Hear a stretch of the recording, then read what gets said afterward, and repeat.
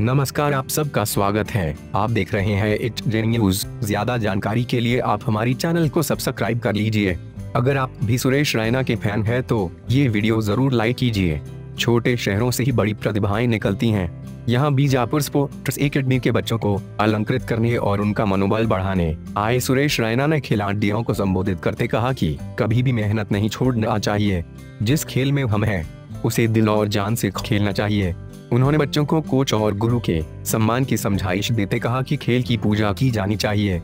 उन्होंने यहाँ एकेडमी के बच्चों के अनुशासन की प्रशंसा करते कहा कि, खेल में ये निहायत ज़रूरी है। क्षेत्रीय विधायक महेश गागड़ा ने कहा कि देश दुनिया की बड़ी हस्ती सुरेश रैना अपने व्यस्त कार्यक्रम से समय निकाल कर आए हैं और दुर्गम इलाका होने के कारण पहले से वे आने से हिचकिचा रहे थे।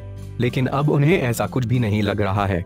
बीजापुर ज़िले की छवि खेल और विभिन्न क्षेत्रों में तरक्की के चलते बनी है। उन्होंने कहा कि यहाँ एक अकेडमी की स्थापना की। घोषणा श्री श्री रविशंकर जी महाराज ने की थी और इसकी स्थापना के बाद से ही इसने अनेक मुकाम तय किए। नेशनल और इंटरनेशनल स्तर पर एक अकेडमी के युवाओं ने नाम कमाया है।